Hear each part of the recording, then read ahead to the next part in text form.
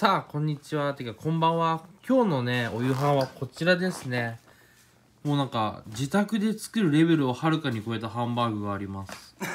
で美味しい白米とサラダ。あこのきゅうりはこの前僕がつけたやつかもしれないあ違いました。すいません。違いました。でパスタにきのこ乗ってる。すごい。そしてねこれ見て。さっきさ生放送のラストに中村さんが取ってきてくれたカニもう茹で上がって食べれますよ。これは楽しみ。これがやりたかったんですよ九州で。